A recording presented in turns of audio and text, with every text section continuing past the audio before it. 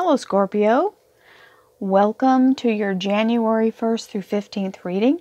This is a collective reading for all Scorpio, Sun, Moon, and Rising, which means that this is for everyone. If you would like a personal reading, please go to royalmystic.com and you can schedule your own private reading where I can tune into your energy directly and give you a personal reading.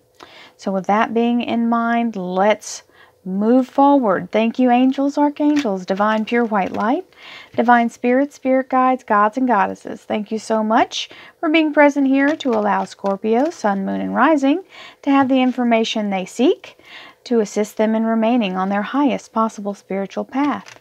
Thank you so much, Divine. You are always welcome here, and your energy is very appreciated at all times. Thank you so much. Let's see what the first two weeks of January 2019 has in store for Scorpio. Here we go.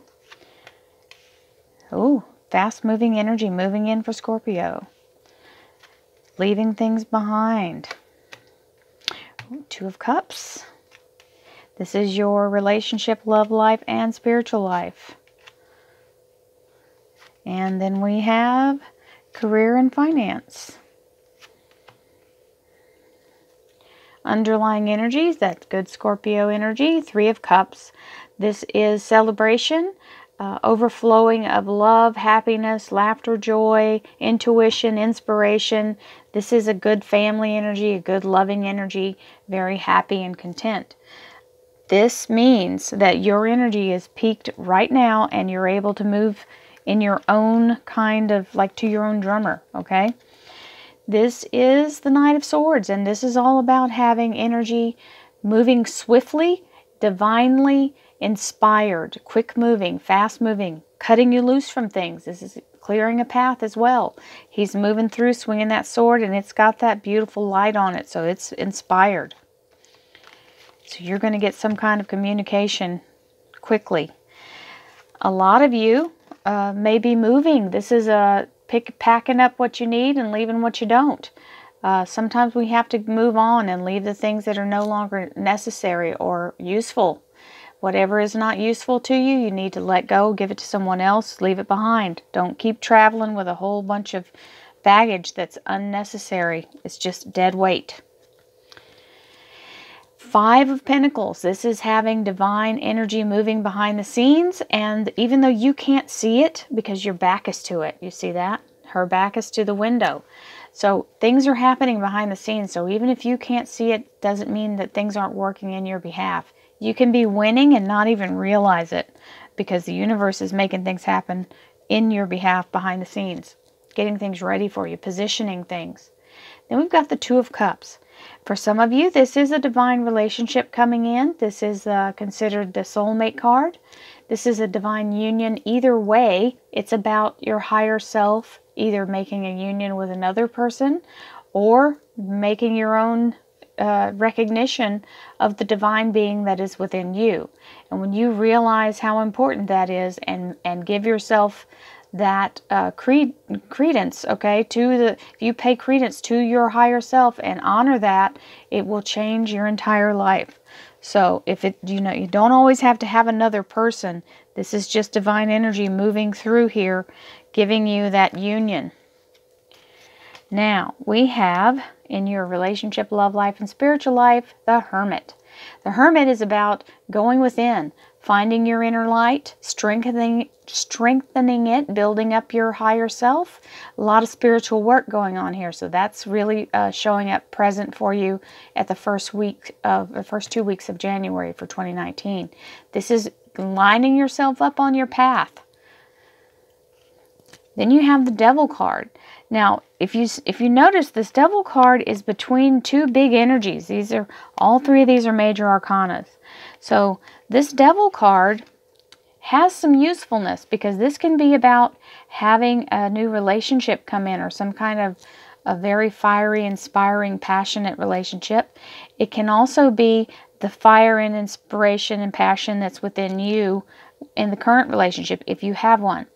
Uh, the other thing is this can be uh, on the opposite side of the of the scale, this can be your own um, self doubt or self sabotage that's not allowing you to move forward on your path. This can be your own blockage. And this is saying you have to let this go in order to be the magician.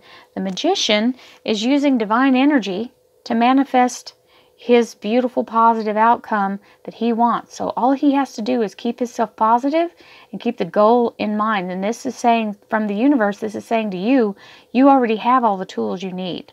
So if this happens to be you uh, causing your own blockage or standing in your own way, you can get out of your way just by concentrating on the goal and letting the universe take care of the details. Now, in your career and finances, some of you are looking at embarking on a new uh, a new endeavor. This is the Queen of Cups. This is the Scorpio energy. And she's having a little bit of fear about the future, what the future holds, maybe something new that she's never done before. It's okay. Um, we all get afraid when we're changing. Change is scary, and you never know what's going to happen. However, this is going to change your entire life. This is the death of the old way. And you got to have out with the old and in with the new. So whenever you give up one thing, this is replaced by another. This is clearing your path for you. That's what that was talking about. And here comes the Six of Wands. This is being seen head and shoulders above the rest. This is a victory. This is standing out in a crowd and having attention paid to you in highest acclaim. So if you're trying to get a new job, whatever this new endeavor is, it's it's you're it's looking good and you're letting letting old things go. That's what that's talking about. And even though it feels like nothing's happening and you may feel left out or forgotten, you aren't forgotten. So let's see what the clarifiers have to say, Scorpio. Thank you, angels, archangels, divine pure white light, divine spirit, spirit guides. Jumping in there. Gods and goddesses, thank you so much for being present here along with our higher selves to allow all Scorpio, Sun, Moon, and Rising to have the information they seek to assist them in remaining on their highest possible spiritual path. Thank you so much, Divine. Your information and energy are always welcome.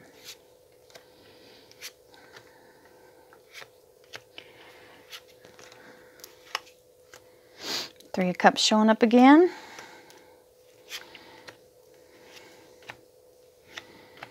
You've got the Hermit again and the Death card again. So this is definitely things changing for you.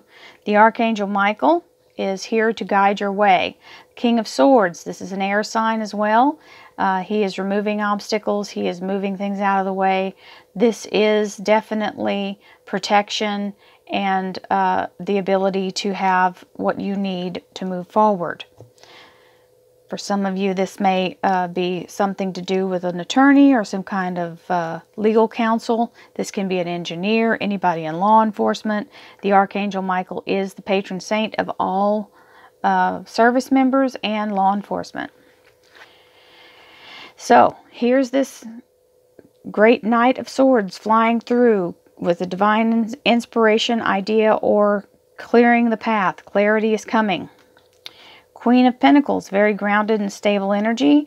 She is uh, solid as a rock. Very, very, uh, her nerves are solid. She is the one you want on your side. Also, she is very stable and committed. This uh, coin has to do with commitment. We have the Seven of Swords where you're dropping all the old stuff and possibly even physically moving. So you can be metaphorically moving on and leaving old junk behind or you could actually be moving. Then the Nine of Rods is finishing this last thing before you go to complete everything and be able to move on without anything dragging along behind you. Being and being feel feeling left out and afraid, and that's exactly how she's feeling. Very uh, worried and melancholy about what's coming. This is the this is the Scorpio Queen. And here is the Two of Cups, which is showing it's not quite time for it yet. It's on its way. It's on the vine, but it's not ready to be picked. And he's waiting patiently or not patiently. He's waiting. He's not leaving until it's time for that to happen. We have the Hermit and the Three of Cups. So here's the Three of Cups over here. You, it's seconding that emotion, and you've got the Hermit again clarifying over here. So definitely want to get yourself in this uh, meditative place. Restore your chakra energies. Do yoga, Tai Chi, whatever can restore your energy and realign you is going to be better for you because this is that Scorpio Three of Cups showing up as a celebration. The Devil card and the Lovers. So some of you, this is a brand new relationship, very hot and steamy. that's what that's talking about.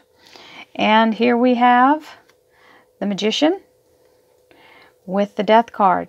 This is letting go of old mindsets so that you can start this new process. You're, you're, the only limitation is your own thinking. And if you stay negative, you can't move forward in this energy. You've got to be positive. This has to be a, a place of love. That's what this green chakra is around him. Okay? So allowing yourself to move forward, letting the old stuff just let bygones be bygones, begin again in a brand new let the let the death card come in and clear the slate for you. He removes all the debris of any of the damage or rubble from any of destruction that has happened before. Queen of Cups. You've got this melancholy fear, okay? It's okay. You're having a little anxiety of the future because you don't know what it holds. And this is the moon coming in. This is your higher self to reveal what the new beginning is. And it's okay. You'll learn as you go. And that's fine. That's what life is anyway. We never really fully know anything. Here's the death card, death of the old way, bringing in the new, letting go of all ties that bind, any obligations that you previously had are completely null and void, and you're able to move freely forward and allow yourself to really get down into that energy of finding your own path and whatever your destiny is is about to be revealed to you. That's what this is telling you. That's your soul guiding you. And here is the beautiful Six of Wands. So some of you are going to be a champion at the new job. This rods stand for work. And then you've got the timekeeper here. Three days, three weeks, three months, or third time's the charm. So this was pretty cut and dry here. Uh, I wish all of you the very best, Scorpio. Uh, this is a great new beginning for the year. And uh, I want to remind you, don't forget we have the Daily Mystic. I'm about to start the uh, memberships for that. It's $4.99 a month. It's a way to help support my channel. Uh, instead of donations, it's a membership. So I really appreciate all of your support. I appreciate this wonderful past year, and I'm looking so forward to this next 2019, doing all of this with all of you. You are a blessing to me. I hope I am equally a blessing to you. I also have the 2019 overview of the of each sign, so check that out. Click on my eyeball icon. It looks just like this ring. Click on that and it'll take you right to my channel and you'll be able to see the playlists. It also has meditation on there since you're you've got this hermit showing up twice. There's different meditations. Check those out. Those are free. I got those off of YouTube. Those are some channels I follow, and those energies I have listened to every single one of those, and uh, I love them. So many blessings to you. I'll talk to you again soon. Love you all. Namaste.